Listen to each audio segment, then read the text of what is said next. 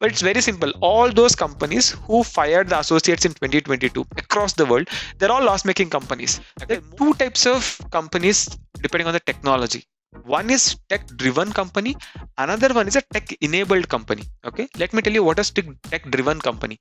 Microsoft and google they're all tech driven companies so they don't have a lot of hardware devices to sell. They're mainly, mainly a software driven company so core of their business runs all, welcome back to uncommon geeks. Myself Vasanth. i hope you all doing well. In case if you're seeing me first time on the internet i'm a content creator. I help people to clear their interview. I made a lot of series in the past which, which is specifically on the interview preparation. I have got a lot of appreciation and so many people cleared interview by watching my series. I will I've linked those I will link those series somewhere on the screen also in the description section. If you have not already seen them, I would highly advise please go ahead and check them out. Okay. Now without wasting further time, let's get started in the topic of the today. So what type of product companies you should not be joining okay why this is very very relevant question now i'll tell you. See in 2021 that's the last year so many product companies hired a good number of engineers okay? Good number why i mean 2021 was 2020 was not so aggressive hiring. 2021 was a very very aggressive hiring. So many engineers people who are getting 3 lakh 5 lakh started getting 15 lakh and 20 lakh ctc okay? So this created a new age group of influencers on linkedin youtube instagram everywhere who joined from service companies like Infosys, Cognizant, Wipro to product companies like Amazon, Microsoft, etc. Okay. After they joined these companies, what happened was they all started posting the goodies that they got from the their product companies, the lunch that they are giving, the breakfast that they are giving, the cab facility that they are giving, how office looks like. So all this made gave a lot of followers to these new age influencers, and only thing that they continued doing was posting such content on the LinkedIn, uh, Instagram, YouTube, etc where lot and lot of followers started uh, lot and lot of people started following them this created a a problem because of which a lot of people in service companies started feeling inferior because they were not getting a lot of goodies like the product companies and uh, they were not having free care facilities like a product companies. Their office was not as beautiful as product companies. So a lot of people who are working in a service company started feeling inferior okay and because of that the push towards the product company increased like anything. A lot of people in the service company wanted to join the product companies. And all these influencers if not all most of these influencers who, who promoted the product companies got slowly fired in the 2022 when product companies were not able to acquire the funding that they wanted. Okay? I, I don't want to name the company but a company which got close to 300 crore funding okay? In, in in just six months back they fired more than 60% of their workforce just after six months okay so these new age product companies which acquired funding and just burn them and it's not the right place for a lot of people to work. So this whole purpose of making this video is do not follow some some influencers blindly and if you're already working in a service company you're not inferior okay? Let me explain step by step what all the factors that you need to consider before joining a product company. It's very very important. Don't join product company because the person whom you are following is in a product company or your friends are in a product company. There are so many aspects you need to consider before joining a product company okay? Let me start by explaining one by one okay? The first thing is based on the profitability. As you can see on the screen so there are basically three types of uh, product companies. One is a profit making company another one is a loss making company another one is a loss making but becoming profitable soon. Okay? Let me explain about the first one which is the profit making company which is the which, which are all the product profit making companies in india. The product based profitable companies. The one that stands on the top is razorpay Mu Sigma and there are a bunch of other product companies which are actually profit making companies. So what are profit making companies? So they at the end of the day they generate certain revenues from the company and which is which is more than the expenses they are doing. Let's say they're spending 1 crore to the business but they're getting in return overall 2 crores where if they exclude 1 crore they're making profit of 1 crore. So this is what the profitability means. That's how the all the business run. I don't have to teach you that. Okay? So these are the companies razorpay Mu Sigma there's so many other companies which are profit making. So when they're profit making don't think they don't need external investment. They do need external investment to um, bootstrap or make certain things very fast. But as a company they can survive without external funding probably for some days because they're already positive cash flow companies okay? So and second is the loss making companies. I haven't added any loss making company in my slide because it may be problematic to me but it's very simple. All those companies who fired the associates in 2022 across the world they're all loss making companies okay? Most of them i won't say all most of them all the youngest startups that fired in 2022 especially in india they're all loss making companies and they're not yet profitable. Third one is the loss making but still profit profitable may become profitable soon A few couple of companies i've listed here which is swiggy and another one is Nykaa. So Nykaa is a company which is already profitable since 2020, uh, but the the overall profit percentage is kind of slightly reducing in the last couple of quarters. But uh, they may become profitable. These are purely my predictions. You don't have to. This is not a joining recommendation to Nykaa or Swiggy. If you think the business is uh, prosperous. You think in a couple of years they will make a profit and they already have a decent funding? To secure that particular profit then you can join those companies. Okay? So Nykaa and Swiggy are the loss making but still can become profitable according to me. So you can you can do your own due diligence before joining these companies. So what is my advice? Join the companies that are making profit. Join the companies that are loss making but still in a very short span they're going to achieve a profitability don't join a loss making company which purely runs on the investor's money okay? Because whenever you join a company which purely runs on the investor money whenever the investor money stops they cannot give you salary because they not have a very big roadmap. In couple of months they would they can lay you off okay? So you still you are thinking the loss making company is very very attractive opportunity for you then at least make sure they have a sufficient amount of funding for next one year. Even if no funding comes they can run the show for the next one year. Only in such cases join the companies. So now next question comes Vasanth, how to check whether the company is profitable or not. The easiest way to do that is there is a uh, this this is not again it's not a financial kind of a video but this is what how i'll do. There's an app called screener.in a website where you can go and check out all the ipo the companies are already in the market. You can check their profit and losses coming by here. As you can see here balance sheet. You can see are they profitable or are they making loss etc by coming here and checking okay? By quarter by quarter also they, they'll be showing you are they making profit or loss okay? So you can come to this particular website and check. It is free for a lot of use cases and some advanced things you need to pay. But just for checking profit and loss it is free. These are only for the public companies for private companies they'll be publishing their overall um, financial progress at, at the end of every quarter and every year. You can go to their websites and you can check that out and make a decision okay? What is the next point? Next and very important point is so this again a lot of people make this mistake especially in it sector there are two types of companies depending on the technology one is tech driven company another one is a tech enabled company. Okay let me tell you what is tech driven company.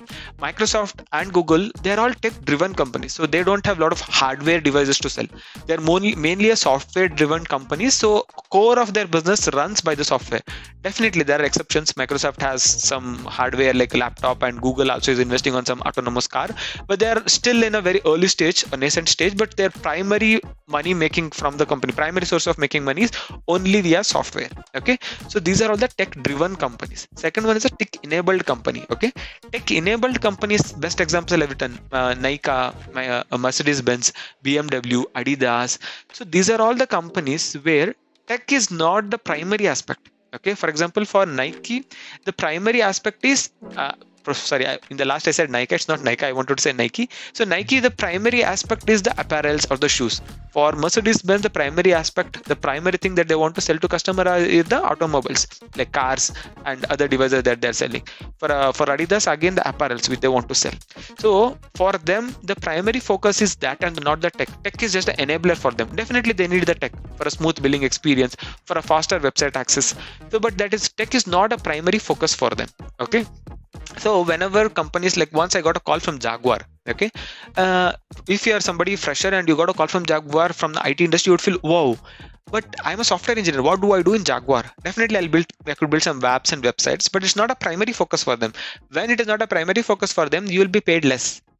And there may not be chance for a lot of innovations because they're not, not much focused on that particular area. They're focused on the the main core piece that is selling for them. So just to see from the flip side of this itself. For a mechanical engineer mercedes benz could be a tech driven company because they primarily work on a mechanics and automobiles okay? So think which is tech driven for you and tech enabled for you. My advice is join tech driven companies instead of the tech enabled companies okay? Because growth opportunity will be more in the tech driven companies so before I dis- discuss next aspect that is very very important before picking a product based company, my only simple request is in case if you're not already subscribed to my channel, please subscribe to my channel and press the bell icon. And if you in case you're liking the content, please like the video and add your comment whatever you're feeling. The reason for that is more likes and comments will give more impressions. Like a lot of people can see my video on, on their wall, and there's a high chance they'll click and I'll be able to get my videos become popular. When my videos become popular, I get a great chance of uh, helping a lot of candidates to clear their interview. That's whole motto of this YouTube channel. So in case if you're not subscribed please subscribe and press the bell icon and like and comment about the video before watching further. Thank you. Next thing is the growth. Another very very important aspect is the growth. Okay? So there are two types of growth quick growth and a steady growth. I haven't intentionally i have not written slow growth. There's nothing called slow growth. There's a steady growth. So what is quick growth like for example if you want if you join today microsoft and google netflix facebook there's a least chance you could become a ceo or cto over a course of 15 and 20 years okay? Not that it is not possible definitely it is possible but as a company it is already grown and there'll be so many people who are senior to you in the organization already who want to go to the next level uh, who are in the pipeline to become go to the next level. So it'll be difficult for you from when you joining a company and grow to that level inside an organization okay? But on the other hand there are certain companies young age startups which are of 25 30 people working 50 people working. So growing up in the ladder becoming a vp becoming a director or becoming a cto also may not take so much time for you. So you think what is your ambition? It is to become are you very very ambitious? You want to grow in the ladder very quickly? Then don't join big tech firms so please join some new age startups with which you can grow very quickly okay? But if your ambition is like me to have a very steady growth then join big companies where you'll get to you'll get the opportunity to meet very big very good people who are having great skill sets and whatever the growth that you get here though it is slow it'll be very steady so whenever you become an architect you really possess the character to become architect. Some some startups i have seen people with three year four year become director and architect. Some may really possess those skills some may not possess those possess those skills. So my advice think which is very very relevant and important for you and pick this direction whether you want a quick growth or you want a steady growth okay? Last and very very important aspect to consider before joining a product company is on the innovation part because as an engineer we all love to do certain kind of an innovation. Like any any domain for that matter you pick we want to do certain innovations to enable our product correct? So there are basically two types of inno- innov- on the innovation. Unidirectional innovation multi-directional inno- innovation okay?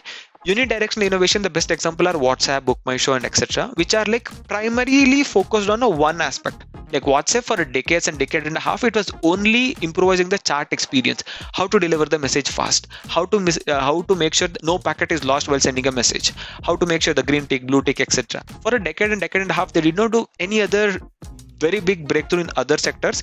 They were only focused on enhancing the chat experience like group call video call. All these are basically an extension to chat itself. They did not do anything that is very very different. Definitely now the business has got added but they spend a very good amount of time just mastering that particular art. Same goes for book my show. Now there is another thing called multi-directional innovation. So they don't focus on one thing. There'll be different teams. They'll be all working on a different aspects of research. For example paytm. Paytm is no longer just a where you scan uh, it's not like a payment application payment aggregator or payment application. Paytm is like a super app. You can do all the things in paytm. You can book grocery i don't know grocery part but you can book certain paytm mall. You can uh, purchase a lot of things. You can pay a lot of bills with the help of paytm. You can book flights. You can book movie tickets. You can book bus tickets. So paytm is like a very super application. So a lot of things are in that. And same applies for hike. As you know hike is no longer uh, operating i believe. So the hike also had a lot of features like chat uh, group of stickers and uh, they had a splitwise inside the application. There was a lock feature inside the application. So many features. So what happens is whenever the app has so many features uh, users may not use any of the features. That's the fact so a lot of uh, you might have heard this in the discussion. Generally users are dumb. They want the very very core features in a very very easy way like how whatsapp does. Any even uneducated can use the whatsapp because you know you click select a person send a message. Correct? You can give voice input text input. So whenever uh, innovation is in a multi-direction it may be good. But there is a risk involved because they might be innovating in a different directions and whenever a particular innovation doesn't go well they'll cut that arm. Okay? And potentially you might be placed in a different innovation group or you may be terminated as well if the funding is not acquired. So my advice is to join a unidirectional innovation kind of a company is what i would do. But it is not like a recommendation not to join paytm or hike if you're somebody who's take, willing to take a risk and want to work on a diverse kind of an innovation then you can still consider multidirectional also. But my personal advice is join a unidirectional innovation oriented company. Okay? So that's all the different aspects that i wanted to cover for this particular video. Quickly to summarize okay? First of all the profitability try to join a company that is making profit or loss making but in a near future it's going to get profitable. Second of all tech join the tech driven companies and the not the tech enabled companies. Third of all join. Third of all is not like you have to do like this or that. Look what you want. You want a quick growth? Join the startups which have decent funding. You want a steady growth? Join a big firms where the growth is slow but it's very steady. And whenever you grow to a particular position you de- really deserve those skills. Last based on the innovation unidirectional multi-direction my advice is join companies with unidirectional innovation and not the multi-directional innovation. Again it's your call. If you are able to take a much risk you can join multi-directional innovation companies as well. Okay? So that's all for this video. So now if you're from a service company please don't feel you're inferior. So product company service company doesn't matter. End of the day everybody builds a product. Okay? Service company itself has a lot of perks. Like you may get to work on different projects. You can travel the world etc okay? So now thank you so much for watching. Catch you next video. In case if you're already not subscribed to my channel my, my recommendation please subscribe to my channel press the bell icon. A lot of such innovation topic innovative topics i'll be discussing in my channel along with the interview core interview preparations okay? And follow me on linkedin follow me on medium because i'll be writing very actively in linkedin and medium. And a lot of my projects that i've already worked is part of my github. Download the project and start the project on github. Thank you so much for watching. Catch you in next video